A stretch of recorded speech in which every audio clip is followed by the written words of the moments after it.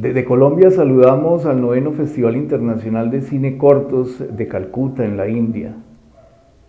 La película El inframundo de Rogelio, una de las películas seleccionadas en este importante festival de cine cortos del mundo, surge hace muchos años, es una idea que, que se me ocurrió conociendo la mina de azufre del vinagre que está ubicada en las entrañas del Volcán Puracé, uno de los sitios sagrados de las comunidades indígenas del departamento del Cauca, en el sur de Colombia.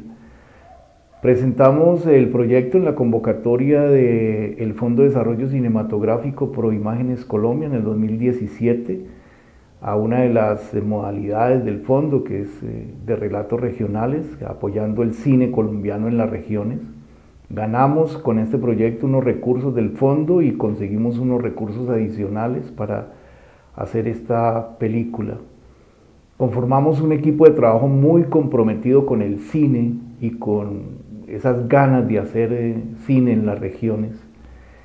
Y bueno, pues las condiciones eh, de la mina son condiciones bastante complejas, difíciles, pero para nosotros fue un gran desafío de realización, de producción.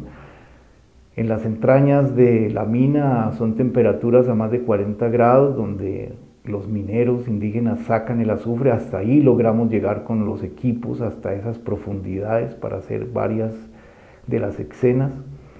Y la parte exterior de, la mina son temperaturas que a veces están bajo cero.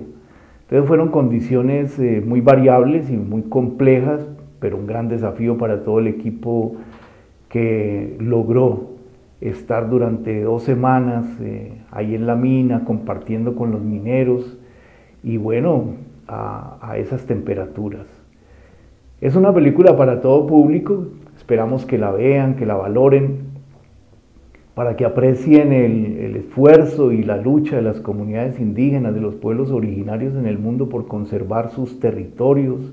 Creo que el, Festival de Calcuta es una de las grandes opciones y oportunidades que hay en el mundo para que podamos mostrar estas películas eh, de tiempo corto es una película de 12 minutos, El inframundo de Rogelio, que es una película que además contó con el apoyo de la comunidad indígena ubicada en estas montañas. Sin el apoyo de los mineros, de, de cada uno de ellos y de esta comunidad y de su cabildo indígena hubiera sido imposible realizar esta película, eso quiero destacarlo.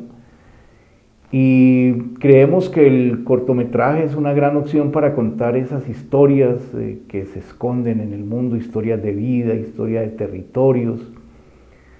Y bueno, a todos los eh, nuevos realizadores, los nuevos productores, los nuevos directores, todos estos nuevos equipos de producción cinematográfica que están por el mundo entero, eh, rodando historias, eh, concibiendo, diseñando historias para el cortometraje, pues creemos que, es una gran oportunidad para el cine en general.